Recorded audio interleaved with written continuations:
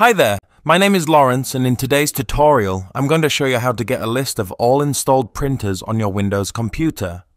Knowing all of the installed printers on your PC enables you to manage printing resources effectively, troubleshoot printing issues efficiently, optimize printer usage, and enhance security measures related to printing activities. It is an essential aspect of maintaining a productive and well functioning printing environment in both personal and professional settings.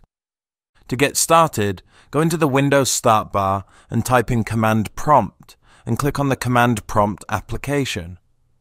When the application opens up, type in the following command WMIC printer list brief.